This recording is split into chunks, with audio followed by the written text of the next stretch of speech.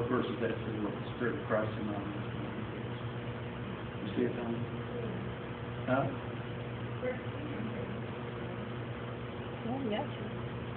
Uh, chapter 8, Romans chapter 8. Yeah. Verse 10.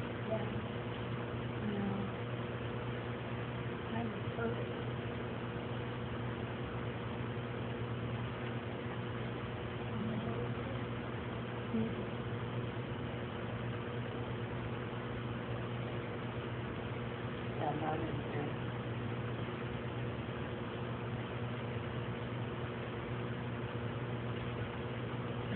Verse nine. Five and six. Now, if any man have not the spirit of Christ, he is not of him. Verse nine. Verse what is that? Nine. That's verse nine. That's a good chapter. It is a good chapter. The whole chapter is good. I should just read the whole thing. But you are not in the flesh, but in the Spirit. If so be that the Spirit of God dwell in you. Now, if any man have not the Spirit of Christ, say the Spirit of Christ. If any man have not the Spirit of Christ, he is none of you. He is none of his. And if Christ be in you, the body is dead because of sin, but the Spirit is life because of righteousness.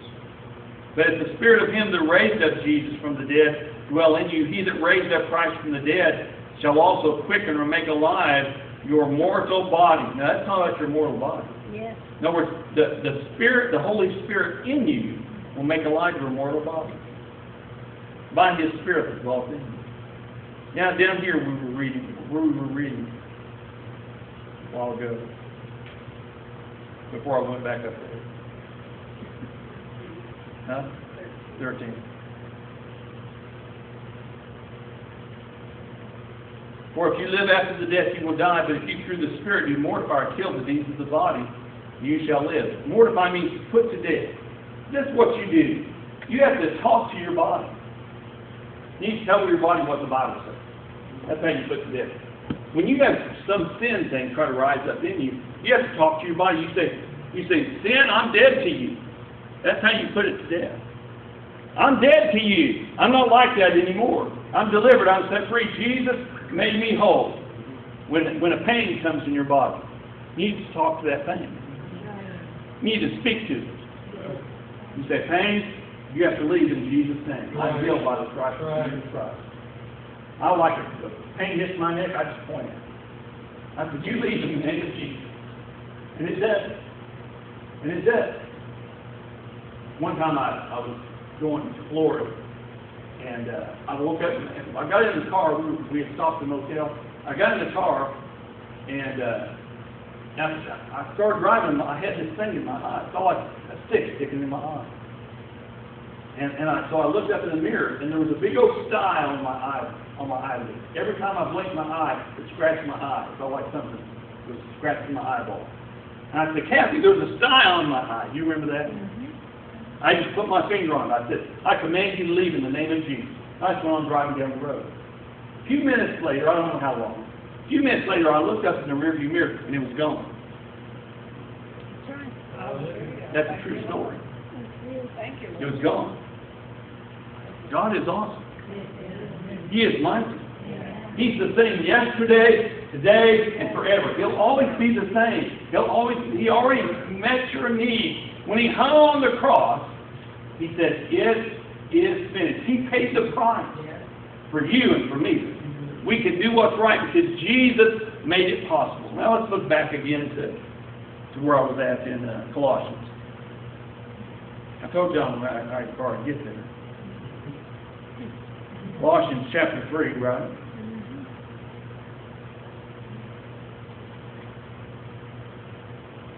Verse 7. You sometimes lived in them. But now, also put off. Now, we have to put those old things off. We have to get rid of them. We still have them. We've got to get rid of them. We've got to put them off. Put all these things off. Anger, wrath, that's like losing your temper wrath. Malice, blasphemy, filthy communications out of your mouth. In other words, we should, maybe I used to talk bad. I don't talk bad anymore because I put that off. I laid that down. My mom used to love to, before she came back to Christ, she loves to tell dirty jokes. Didn't she, Mom?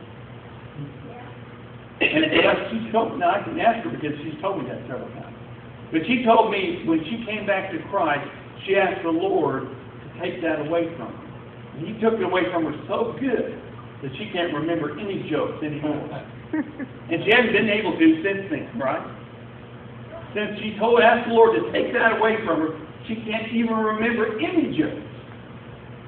I don't know if that's so good, but I kind of like a joke once in a while, but not a filthy joke. But when you're a Christian, your your speech should be, it should be, be become a, of a child of God. I mean, the world should know you're different by the way you talk.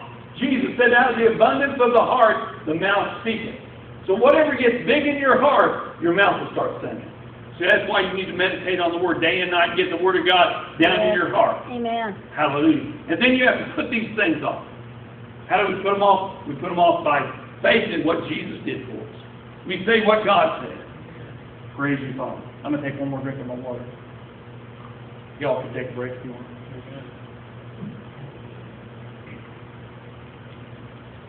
Thank you, Father. Lie not one to another, seeing that you have put off, say put off, the old man with his deeds, that old nature. I'm not like that anymore. I'm not going to be like that anymore. Then the devil will try to pull me down into that stuff because that's his job. I don't blame him. That's his job. He's just he's just working at it.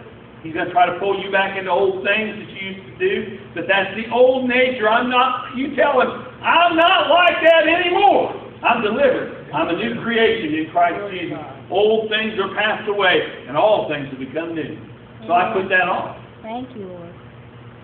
Thank you, Lord. Put off the old man with his deeds, and have put on the new man, which is renewed in the knowledge after the image of him that created him. No, Jesus created us in his image. Now we've got to put on that image of Christ. Where there is neither Greek nor Jew, circumcision nor uncircumcision, barbarian, Scythian, bond or free, but Christ is all. And in all. In other words, Jesus is in everybody who receives him. He's no respecter of persons. It doesn't matter whether you're a Jew or whether you're a Gentile or whether you're a Scythian or anybody or a barbarian. Jesus will still deliver you and set you free and make you whole. He is no respecter of persons, but Christ is all and He is in all.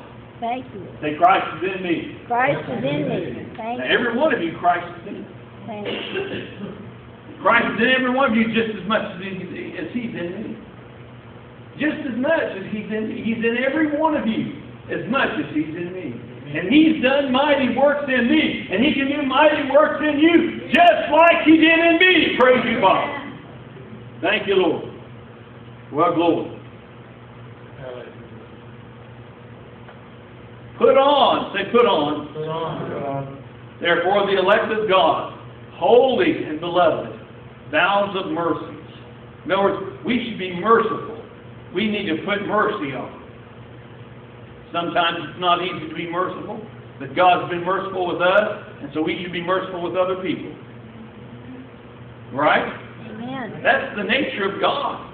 The nature of God now is in you. You have the nature of God through the Spirit of Christ. Hallelujah. You can live like Jesus lived. He said, believers. He said, these signs shall follow them that believe.